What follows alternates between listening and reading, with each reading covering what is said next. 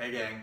So why is it that the last sort of five to 10 pounds or that stubborn stuff is so hard to get rid of?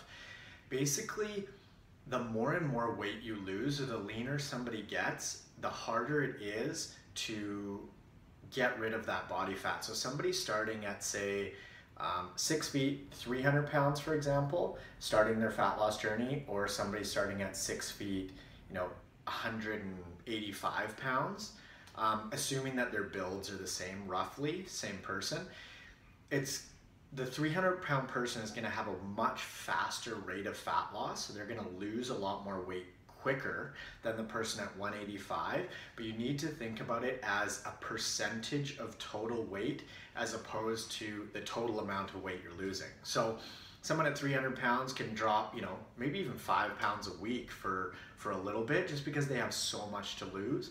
But that person at 185, losing two pounds a week, is still losing a big percentage of their total weight. So the leaner and leaner we get, the tougher and tougher it is to, to lose body fat.